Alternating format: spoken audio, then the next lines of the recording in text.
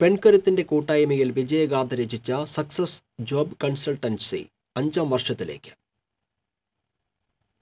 ആയിരക്കണക്കിന് ഉദ്യോഗാർത്ഥികൾക്ക് തൊഴിൽ നേടിക്കൊടുത്തുവെന്ന ചാരിതാർത്ഥ്യത്തോടെയാണ് സക്സസ് ജോബ് കൺസൾട്ടൻസി അഞ്ചാം വർഷത്തിലേക്ക് കടക്കുന്നത്. പ്രീ രജിസ്ട്രേഷൻ ആശയമില്ലാതെ രജിസ്റ്റർ ചെയ്ത ഉടനെ ഇന്റർവ്യൂവിന് അവസരം നൽകുന്നുവെന്നതാണ് സക്സസ് ജോബ് കൺസൾട്ടൻസിയുടെ പ്രത്യേകത. ദിവസവും പത്തിലേറെ സ്ഥാപനങ്ങളുടെ ഇന്റർവ്യൂകൾ നടക്കുന്നതിനാൽ ഒരു ഉദ്യോഗാർത്ഥിക്ക് ഒന്നിലധികം ഇന്റർവ്യൂവിൽ പങ്കെടുക്കാനുള്ള അവസരം സക്സസ് ജോബ് കൺസൾട്ടൻസിയിൽ രജിസ്റ്റർ ചെയ്തിട്ടുള്ള ഉദ്യോഗാർത്ഥികൾക്ക് ലഭിക്കുന്നു.